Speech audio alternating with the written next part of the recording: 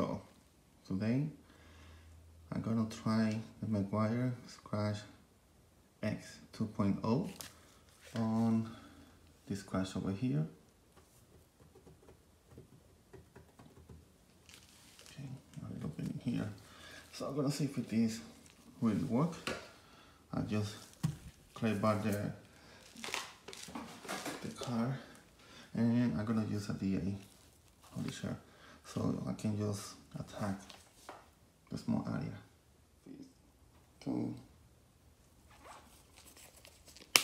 put a little pin in there, as you can see. After we shake it well,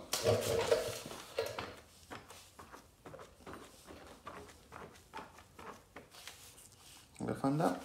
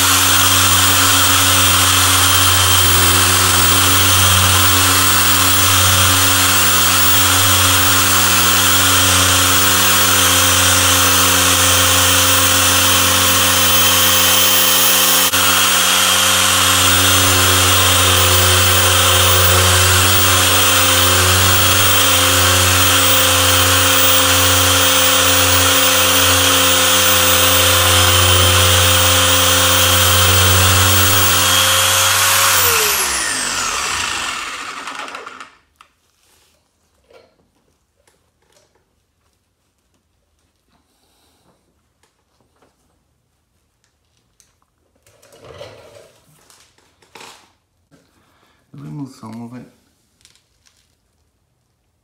I did remove some of it. You can see over here. I'm gonna give one more coat and, and see how, how it works. Okay. After the last, I just pass it one more time. I can see the difference. I think it worked really good.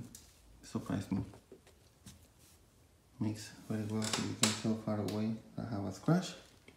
So I'm still going to take care of the rest of the car. I know I have a few scratches somewhere, but I I think it's good. I give you a thumbs up. So hopefully you like the video. And like I said, I have a white scratch all the way crossing here and they get rid of it very well. And then over here, this one is, was more deeper. So two scratches. I use a DA polisher with an orange um, pad with this. And I just put a lot of pressure in here. So it came out good. So I'm happy with the product. Hopefully you guys like this video.